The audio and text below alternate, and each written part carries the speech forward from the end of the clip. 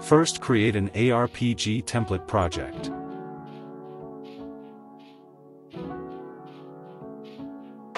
Right-click and create a folder where new content will be placed. Right-click and create a scene file. Click the Settings button in the upper left corner. Width and height affect how many tiles there are horizontally and vertically. Tile sizes should be set according to what you need, I set it to 16 here. Right-click and create a normal tile set file. Drag a tile image file into the project, and set it as an image in the tile set file. Set the tile's width and height, here it's 16 by 16, which is the same size as the setting for the scene. Width and height function the same as before. Set it to be no less than the number of tiles in the picture. Create a tile map in the scene object list. The new tile map has the same width and height as the scene. Double-click to edit and open the tile file you just set. Select a tile to draw it onto the tile map. Press Q for the eraser. Press E for the pencil. Press R for the rectangle tool. Press T for the ellipsis tool. And press Y for the fill tool. Be aware.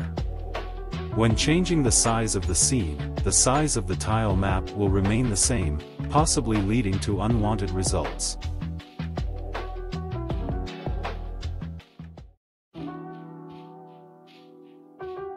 Creating a new tile map will automatically set the shortcut keys to toggle between tile maps, in this case the keys are 1 and 2. Open the tile file, select a tree, and draw it into the second layer tile map.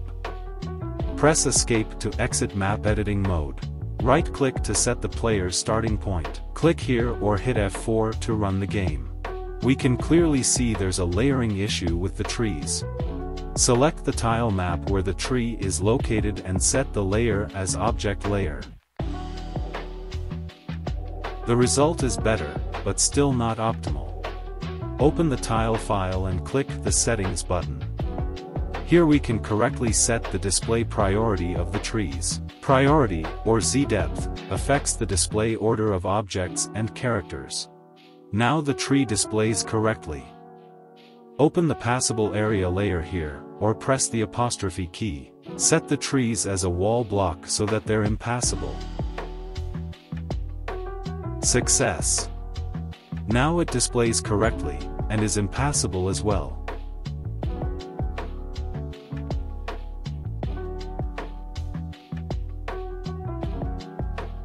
I'll create a new normal tile set file and name it tree. Set up the image file as we did before. But this time, change the tile width and height to 48 and 64, respectively. This is an irregular tile, so it needn't have the same width and height.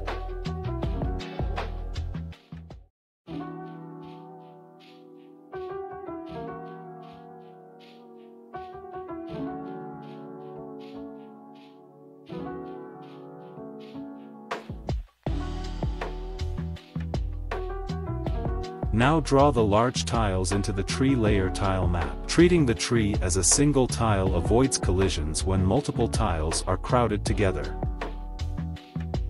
Now you'll notice that trees at the edge of the screen vanish as the camera pans. This is an optimization feature, to avoid drawing off-screen tiles. Now let's look at project settings in the upper left, or hit the F1 key for a shortcut. Find the block rendering area and expand it. Now off-screen tiles will still be rendered within the set distance.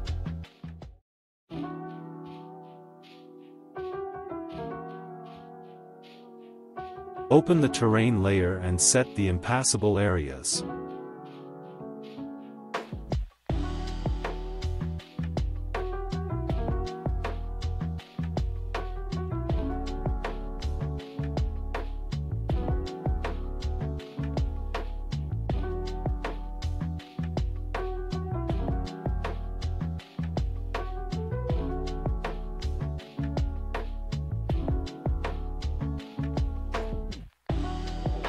And this concludes the initial introduction to scenes and tiles. The next video will go over character and animation creation, so stay tuned.